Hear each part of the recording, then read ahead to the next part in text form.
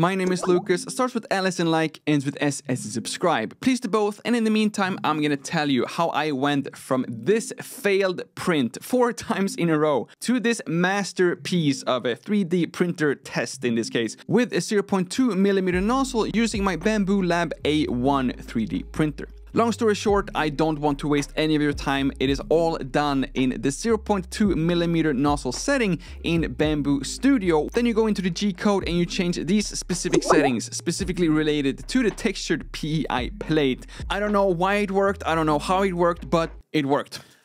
Okay, quick clarification. Uh, this was all recorded yesterday, and today I, of course, decided to update Bambu Studio to 2.0, and I realized that all these settings had actually completely changed. So these changes that you saw here in the Machine G code was for the previous version of Bambu Studio, but if you have updated to Bambu Studio 2.0, then the settings are the same, but the location to where you actually access this machine G code is a little bit hidden actually. It's hidden right up here next to the printer you have chosen. And then inside here, just make sure that you are choosing the correct nozzle and then head over to machine G code. And that is where you can make these settings. And for your convenience, I have actually already copied and put everything down in the description below. So all you have to do is to just paste it in there and just replace this minus 0. 0.02 with positive 0.06 in order to change these settings and hopefully being able to save some of your precious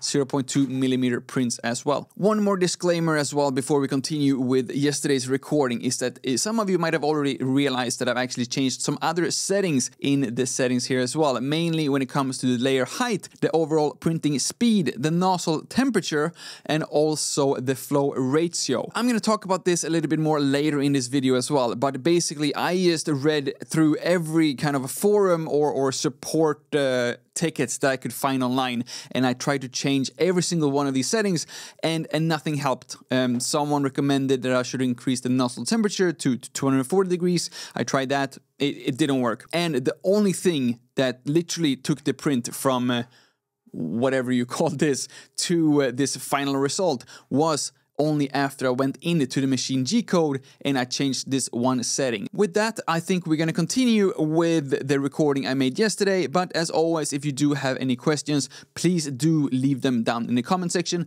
and I will do my absolute best to get back to you as soon as I can. That is literally everything that you're gonna learn from this video. I'm always trying to teach you at least one single thing and in exchange you will then help me by subscribing to this channel and in this case that is the one thing I will teach you today. So if you just came here for a short answer, you already have it. Please go into the, to the G code and hopefully save your precious 0.2 millimeter prints just like this one. For the rest of you, especially those who might find some entertainment in listening to my most frustrating 48 hours of my 3D printing career and what seriously made me start questioning my entire life choice.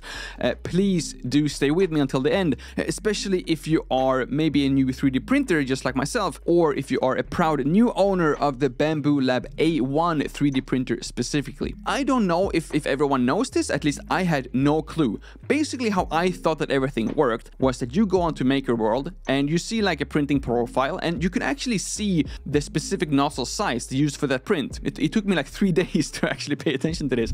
But you, you do see the printing profile. But I thought that I could just tell Bambu Studio that, oh, instead of 0.4, I will just switch to 0.2. And it would just be twice as good, simply put. So not the case. I have no idea why or how. Again, I just found the solution to my problem, which was changing this G code regarding the z-axis offset. And I should also mention before we get too deep into this nozzle rabbit hole, uh, yesterday I released a video talking about the 0.2, 0.4 and 0.8 millimeter nozzles, making a comparison with, with benchies and these 3D printing tests. So if you want some more information regarding these things, after you finish watching this video, please do head over to my previous video and you will have all that information right there. But basically what happened was that I just printed the thinnest prints I have ever seen. And it didn't even cover an entire layer before it then just printed in the air. Like no filaments came out from the nozzle. So I thought that the nozzle was clogged. And that was what led me on this 10 hour uh, goose chase. Is that what you say? Like a hunt in the wrong direction and I had no clue like nothing worked. I wasted so much filament and I tried like every single combination. Like all the other like smaller prints seemed to work. Like we had like a, like a benchy we also had these other filaments. Someone said like it could probably a wet filament. I don't have a, a dryer. And once you start going down this like rabbit hole like I, I kind of enjoy doing like the research and and I do want to like test and try everything. But I just ended up testing and trying the wrong things like all the time. Like so many people said it was like the nozzle was clogged. I had to like take out the, the entire thing.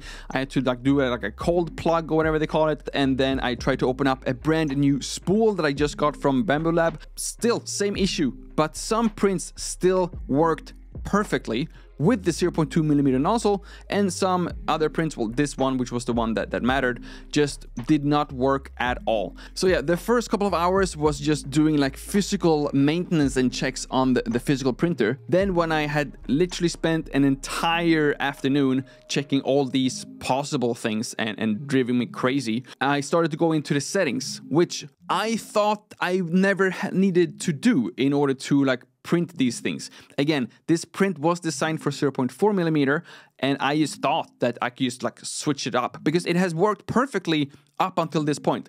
I have I've printed like two different like spool holders, 0.8, 0.4, using the same print. I have done these three benchies for my previous video, and these were all the exact same STL file and the only thing I did was in Bambu Lab was changing the setting from 0.2, 0.4, 0.8. It just worked. So I thought everything should just work. So not the case. So when I did go into the Bambu Lab studio settings, the most common thing that people told me to change was the dynamic ratio, the dynamic flow which was a little tricky to find. And then it was the, the speed, I should lower the speed so the nozzle has more time to put out the, the, the filament. But this was also during the time when I kind of thought that the nozzle was clogged. So I it just never nothing worked so i just had all these different ideas and, and things and in total it took me 10 hours of just like active like research and, and trial and error in order to figure out a way to deal with this. And I can honestly say, if it wouldn't have been for the purpose of making these videos, I would have just given up like nine hours before because it just didn't work. And if you have a 0.4 millimeter nozzle, again, like you don't really need a 0.2. If, if you don't compare it side by side, don't feel like you just need to go and order a 0.2 millimeter nozzle as soon as possible. But again, I will repeat this.